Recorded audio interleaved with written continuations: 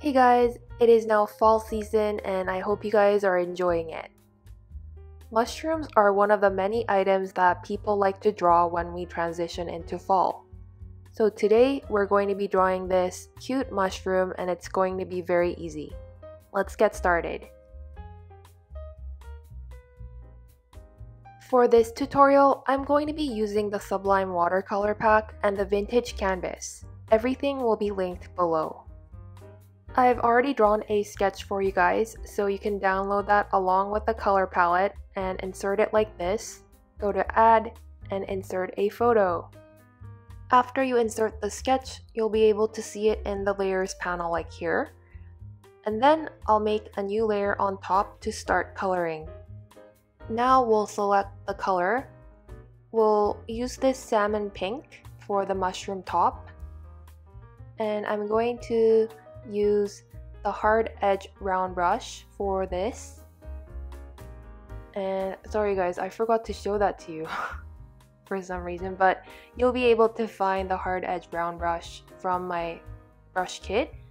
And as you can see, this brush is very special in the way that it looks like real watercolor when it dries. So if you really want to keep that hard edge effect, then you'll really want to make sure that you don't color outside of these pencil lines. Because if you end up coloring outside and you end up erasing that, you'll lose the hard edge effect. So I'm going to color the entire top but leave out these little patterns because they need to be white.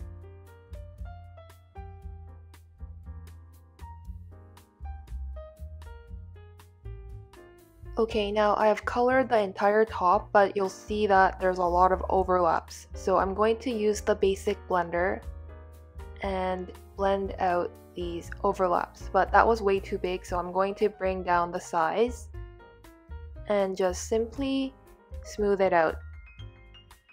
When you blend, it's also important that you don't blend outside of the pencil lines because you'll lose that hard edge effect. So I'm blending very carefully so that I stay within the colored element. Once you've blended everything, we'll want to make a new layer on top and make that a clipping mask. And to make the colors look vivid, I'm going to make this layer into color burn. As for the color, I'm going to use the red that's next to the salmon pink that we just used. And I'm going to just color it in in some places where it might have shadows or where it might look a little bit more dark and intense. And you don't have to color the entire top, you can just choose random places just to make it look more like real watercolor because real watercolor is never all that smooth, right? There are some pools with more paint and more pigment. Because this is a clipping mask layer, coloring is really easy and convenient. You really never get outside of these lines.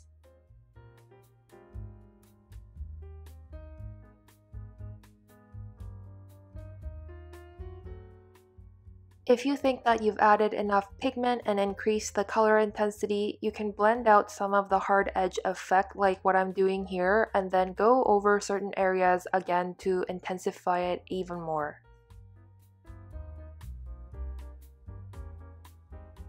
Once you're happy with the colors, then we'll go back to the layers panel and merge the two layers together. And then we're going to make a new layer and I'm going to use the hard edge round brush again of course and get the third boldest red and I'm going to add some extra strokes here and there to show more color intensity. Unfortunately, the clipping mask layer isn't really effective in showing bolder colors, so this is the best corrective strategy in adding more color variations and intensity.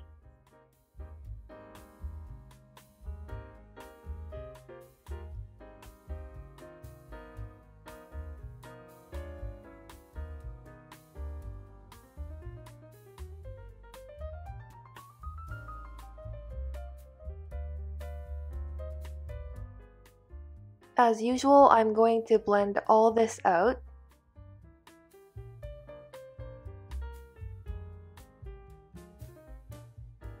At this point, I'm going to lower the opacity of this new layer because I just think that the color was way too bold and this makes it look a lot more natural. And now we're going to start coloring the bottom portions. So let's make a new layer and I'm going to pick out this beige color and start to color the bottom portions. Again, making sure that I don't color outside of the pencil lines to keep that hard edge effect.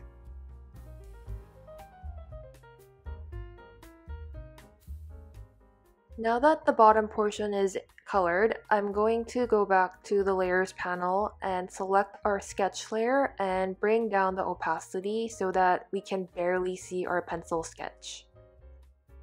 And then we're going to go back to these layers and add more color to them. I'm going to select this color here. And just like how we've added color to the mushroom top, we're going to gradually build up the color for the bottom portion to make it look more 3D and add darkness to areas that will have shadows. So I'm adding in a bit of this brownish gray color to the right side of the mushroom as well as textured areas. I'm just going to pretend that the light is hitting more of the left side and of course you're going to want to blend out these patterns just to make it look more natural.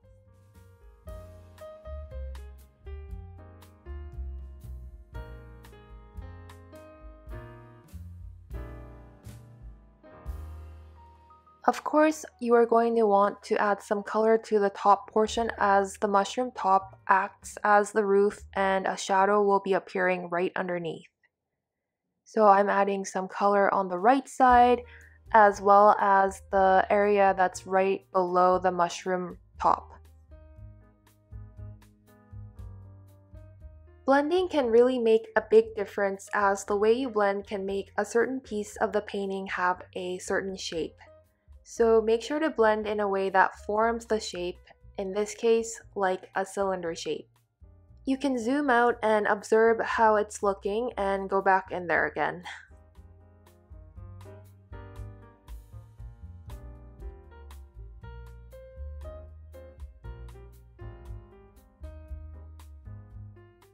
For very intense areas, I've used a dark brown to show the shadows. At this stage, the mushroom looks pretty good, but I'm going to add one more layer and add one more element. And I'm going to pick out a orangey color, like an orangish yellow color. And I'm going to just add some spores on the bottom. And it doesn't have to be uh, any kind of a shape, it's a random shape. And I'm going to add it here and there. You don't have to add this part if you don't want to, but I thought it will make it look a little bit more interesting. Anyways, that is the end of this tutorial guys. I really hope that you guys got something out of it and found it to be easy.